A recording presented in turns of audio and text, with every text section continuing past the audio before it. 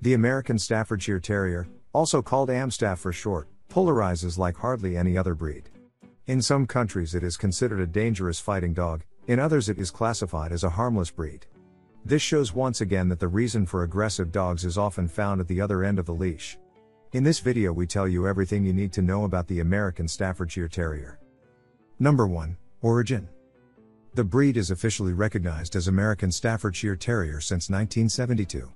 Previously, it was known by different names, including Pit Bull Terrier and Stafford Terrier, which caused a lot of confusion with other breeds.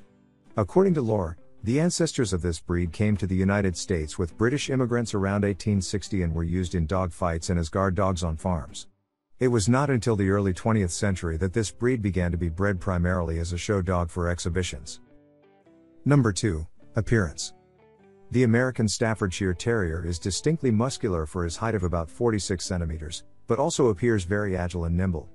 He has a broad, wedge shaped head and a strong bite. Typical are also the semi erect ears. The coat of the American Staffordshire Terrier is short and shiny. According to the breed standard, any color and mixture is allowed, but the color white should not cover more than 80% of the body. Number 3 Character and Education. The American Staffordshire Terrier is considered intelligent, playful, and affectionate. To its owners, it shows unconditional loyalty and great gentleness towards children. Characteristic for this dog breed is its courage in dangerous situations.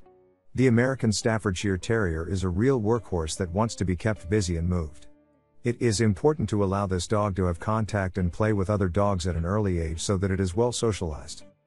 Since this breed has great strength, he must learn early to keep it under control and therefore needs a strong hand in training. Since the dog is extremely intelligent, he knows how to exploit the weaknesses of his owner and likes to test the hierarchy sometimes. The visit of a dog school is also for dog experienced people a must. Number 4 Husbandry and Care. An American Staffordshire Terrier is not a beginner dog. Due to its size and strength, these dogs are rather not suitable for a city apartment. He is most comfortable in an environment with his own garden and athletic family members. A well behaved Amstaff, which experiences species appropriate occupation, is an optimal family dog, which barks little. This dog breed is considered hardy and usually enjoys good health.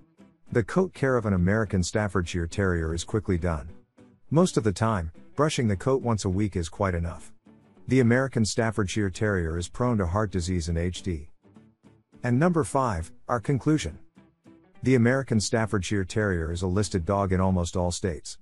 So, you should check if you are allowed to keep this breed at all before adding one to your household. If you raise the American Staffordshire Terrier with a consistent and at the same time loving hand, you will get a great family dog. If you like the video, I would be very happy about a thumbs up. Also, don't forget to subscribe to this channel so you don't miss a new video.